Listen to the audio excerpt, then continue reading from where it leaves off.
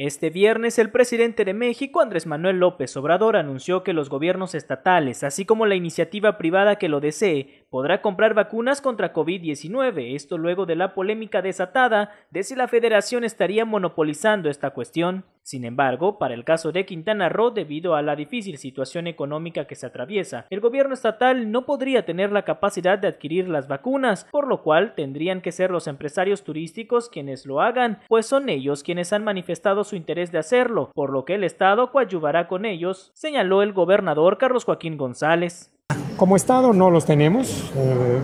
muy, muy pocos recursos para ello pero eh, desde la iniciativa privada seguramente lo podrá, podrá ocurrir. Y vamos a coadyuvar con ellos para hacerlo y es que el mandatario estatal comentó que el pasado jueves tuvieron reunión con la CONAGO y las autoridades federales donde justamente se planteó la posibilidad de comprar vacunas por parte de la iniciativa privada y los gobiernos estatales, pero en ese momento se señaló que por cuestiones técnicas no podría ser posible, principalmente porque las farmacéuticas solo están vendiendo a los países. En ese sentido se congratuló de este nuevo anuncio, aunque dijo que la venta de las dosis podría ser hasta el mes de septiembre. Hoy nos da mucho gusto escuchar el comentario del presidente López Obrador de la posibilidad de explorar ello. Eh, debo indicar que en esa primera exploración que habíamos hecho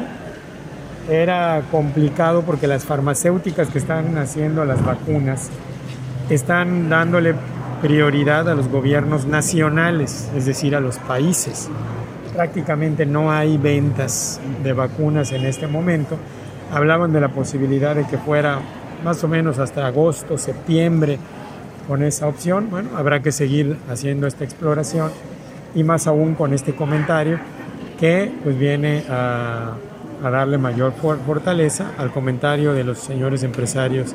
hoteleros y turísticos del estado. Con imágenes de Kevin Rodríguez, Luis Más, Notivisión.